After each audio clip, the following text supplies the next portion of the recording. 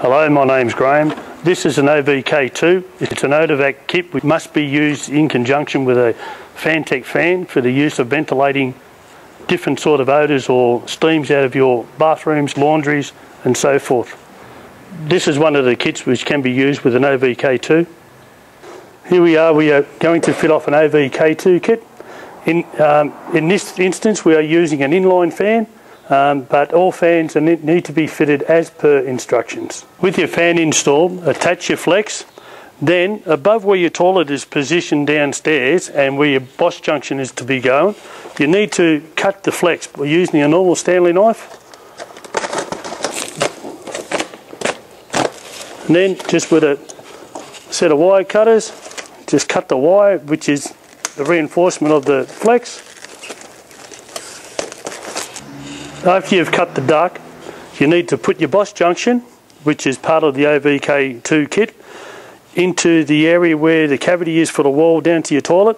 If you can't go straight down, you can always move that to the, to the side and put a 90 degree bend on it and insert it through the, through the closest area.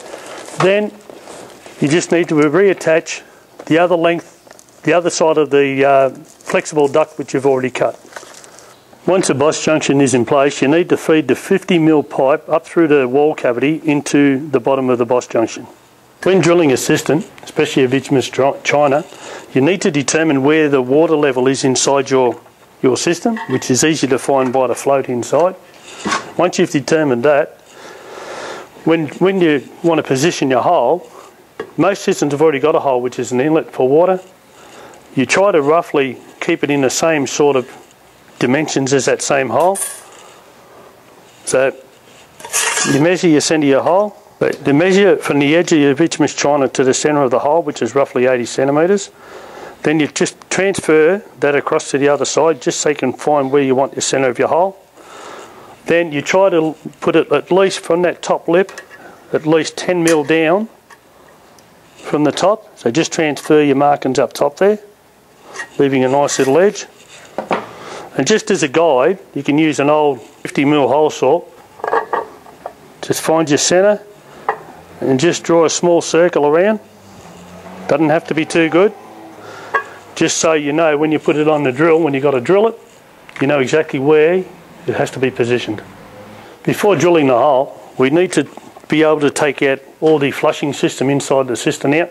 To do that, just use a pair of multi-grips and just release the big nut on the bottom of the cistern. Just a couple of turns. It's not too hard. It's only plastic you don't have to force. It and just spin it off. And then just take it out. That's for two reasons. One you don't want to go too far through with your drill and damage. Also it's easier cleaning once you've once you've drilled it to get all those little bits of chips and that out of it if you have access to a drill press, which we have in, in our warehouse, um, just make sure that you've lined everything up with the circle that you've marked and you've got plenty of water on hand. The ideal thing is an old water bottle with just a couple of holes in the lid.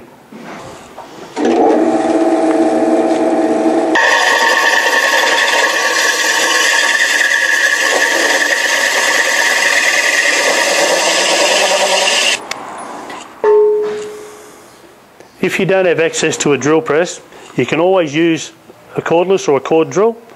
Just the same things apply. Water and, a, and put, make sure you've got it on a nice steady surface that's a good height for you. Just place it on top where you've marked your hole. Just drill it by hand and just plenty of water again and you'll find it's very easy just to go through. After you've finished drilling the, your hole, just make sure you just wipe off all the excess not only on the outside but on the inside because it could maybe get in the way of flushing. You don't have to be spot on, but if there's any big big chips in there, just wipe it out with a rag. That's all you need to do. Once you've drilled, don't forget, you've got to put your working mechanism back inside. Uh, just reverse the steps that you did to take it out. Poke it through the bottom. Spin the base nut back on. Don't over tighten it, just needs a couple of turns. Your plumber, when he installs it, will always check those things anyway. Then you're ready to attach it to your to the uh, toilet seat and determine where your hole is in the wall. Once you've drilled your hole, put all your toilet together, position it where you've predetermined where you want it to go regarding pipes and that all through sewage and all that.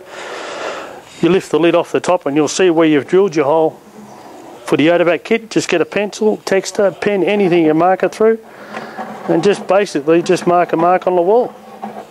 And once you take the toilet away, it'll show you exactly where you need to be. Now that we've got the 50mm pipe in place, we need to position the 50mm socket, which don't forget needs to be glued.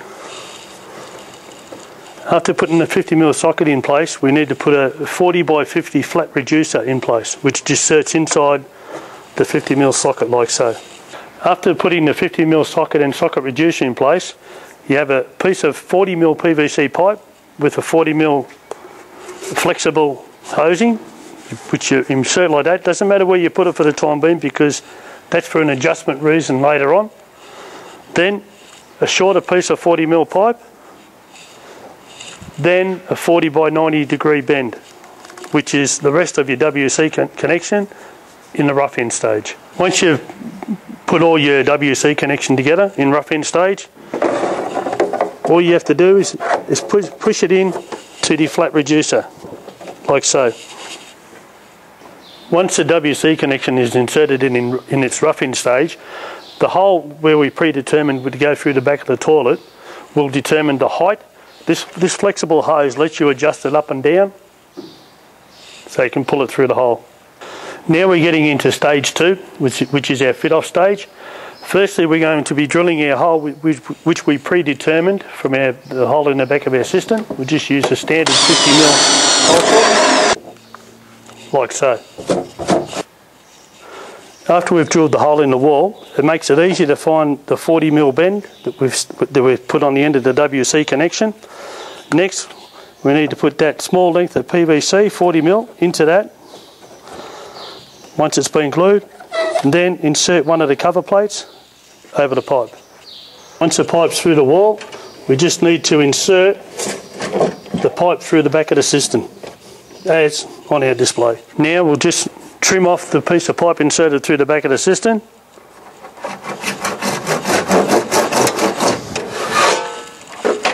And pull it out.